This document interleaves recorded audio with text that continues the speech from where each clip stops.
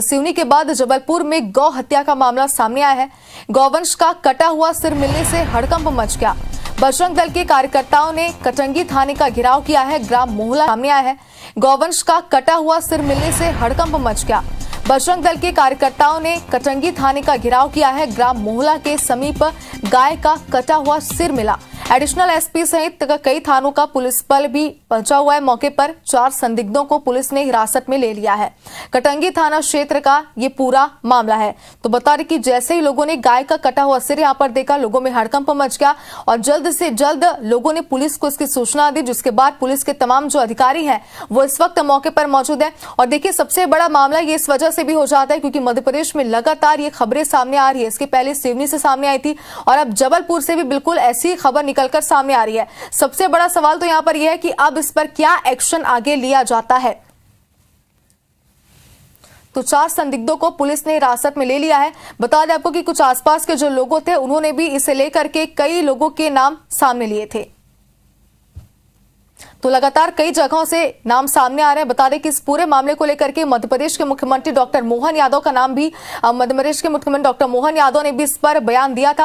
उन्होंने साफ़ तौर पर कहा था कि दोषियों पर कड़ी कार्रवाई की जाएगी। आपको बता दें कि इसके पहले विश्व हिंदू परिषद के लोग बजरंग दल के लोगों ने भी, कार्यकर्ताओं ने भी जमकर प्रदर्शन किया था, थाने का घेराव किया था और इस मामले को लेकर के कड़ी कार्रवाई की मांग उन्होंने यहाँ पर की थी। तो देखिए, सिवनी के बाद अब जबलपुर से भी खबर निकलकर सामने आई है और इस तरीके के मामलों पर अब सबसे बड़ा सवाल तो यही है कि तमाम जो अधिकारी हैं पुलिस के, जो इस वक्त मौके पर मौजूद हैं और लगातार ये समझाइश दे रहे हैं लोगों को कि इस पूरे मामले पर एक्शन लिया जाएगा, वो आगे क्या एक्शन लेते हैं? क्योंकि प्रदेश में लगातार ऐसी खबरों के सामने आने से कई सवाल खड़े होना लाजमी है।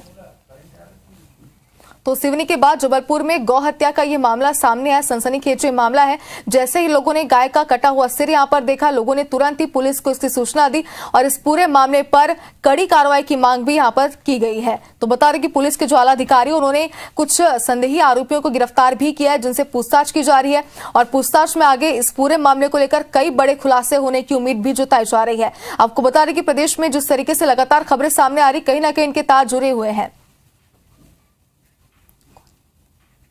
और चलिए, ज़्यादा जानकारी के लिए हमारे संवाददाता अभिषेक इस वक्त हमारे साथ लाइव जुड़ चुके हैं। अभिषेक, लगातार प्रदेश में ऐसी खबरें सामने आ रही कई सवाल यहाँ पर खड़े उठ रहे हैं। फ़िलहाल अगर बात करें जबलपुर की, सिवनी की तो यहाँ पर पुलिस के अधिकारी यही कह रहे हैं कि कड़ी कार्रवाई इस पर की जाएगी। क्या संदेही यहाँ पे गिरफ़्तार हुए हैं? क्या उनसे पूछताछ की गई है? क्या बड़े खुलासे इस पर हुए हैं?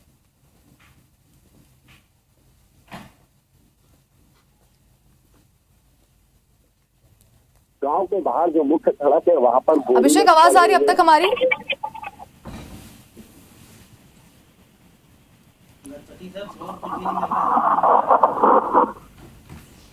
हाँ बिल्कुल मुझे देखिए आपकी आवाज़ आ रही है मैं आपको बता दूँ कि जबलपुर के कटंगी का जो मौला थाना मौला गाँव है उस गाँव के सरपंच ने आज सुबह लगभग आठ से नौ बजे के बीच गाँव की मुख्य सड़क पर एक गोरी में भरे गौवंश का कटा हुआ सर उसे जो चमड़ा होता है, वही देखा था और उसके बाद उसने पूरे मामले की सूचना बना बजरंग दल के कार्यकर्ताओं को भी लग गई थी कार्यकर्ता भी मौके पर जो है इकट्ठे हो गए थे पुलिस मौके पर पहुँची और पुलिस ने पहले गाय के जो कटा हुआ जो फल था, उसे कब्जे में लेकर थाने थाने आए और पीछे पीछे बजरंग दल के कार्यकर्ता।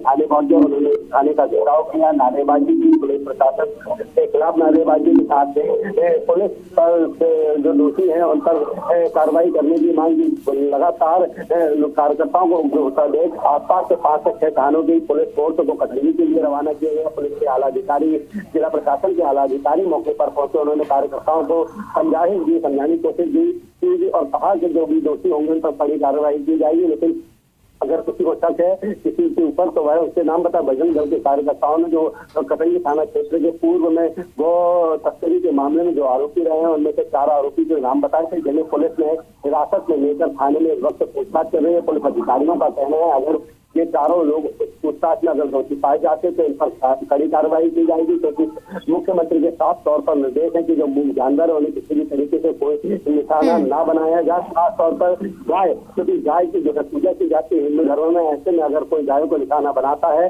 तो उसके खिलाफ कड़ी कार्रवाई कार्रवाई की जाएगी अब एक हफ़्ता भी नहीं बीता है लगभग छह दिन पहले पड़ोसी जो जिला है सिवनी यहाँ पर पचास से ज़्यादा गौवंश की हत्या कर उन्हें तालाब और नदियों में फेंक दिया गया था और उसके पास से ही लगातार बजरंग दल के कार्यकर्ताओं में आक्रोश है और आज जो जबलपुर में ये घटना हुई है कटंगी में उसके बाद आक्रोश और बढ़ गया है क्योंकि प्रदेश के अलग अलग शहरों से गाँव जिलों से भी जो है इस तरह की खबरें आ रही है। तो ऐसे में पुलिस भी इनके पता पता लगाने के लिए चलिए अभिषेक तो लगातार देखा जा रहा है कि इस पूरे मामले पर कार्रवाई की जा रही है। अब देखने वाली बात होगी क्या एक्शन आगे लिया जाता है क्योंकि प्रदेश में लगातार ये मामले सामने आ रहे हैं। बहुत बहुत शुक्रिया तमाम जानकारी के लिए।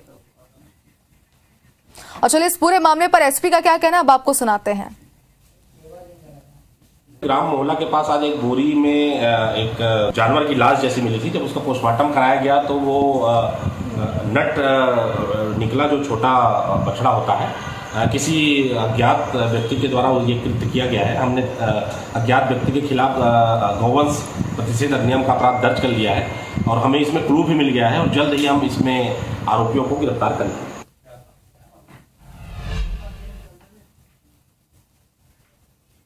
तो देखिए, ये तीन तस्वीरें इस वक्त हम आपको टीवी स्क्रीन पर दिखा रहे हैं, जिससे आप मध्य प्रदेश में हो रहे इस तरीके के मामले को समझ सकते हैं। पहली तस्वीर आपको दिखा रहे हैं, जो कि सिवनी से है, दूसरी तस्वीर मुरैना से और तीसरी जबलपुर से है, जिसके बारे में हमारे संवाददाता कुछ देर पहले में जानकारी भी दे रहे थे, बता दें कि इन तीनों ही मामलों को देखते हुए लगातार ये मांग की जा रही है कि सख्त से सख्त कार्रवाई इस पर करे, सरकार इस पर एक्शन ले, क्योंकि प्रदेश में लगातार इस तरीके के मामले कई सवाल खड़े कर रहे हैं। तो तीन तस्वीरें हम आपको दिखा रहे हैं। आपको बता रहे कि लगातार जो इस तरीके के मामले सामने आ रहे हैं। इसके पहले विश्व हिंदू परिषद, बजरंग दल के कार्यकर्ताओं ने थाने का घिराव भी किया था और इस तरीके के बढ़ते मामलों को लेकर सख्त एक्शन की मांग की थी। उनका यह कहना था कि अगर एक्शन इस पर नहीं लिया जाता है तो इस तरीके के मामले प्रदेश से आगे भी आ सकते हैं। और इसके बाद पुलिस ने आश्वासन दिया है कि इस पूरे मामले पर आगे कार्रवाई की जाएगी।